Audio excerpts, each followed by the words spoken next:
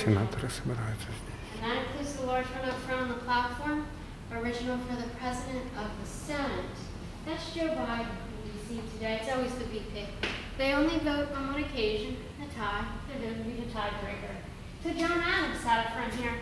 He cast about 30 tie-breaking votes. That's still the most in American history.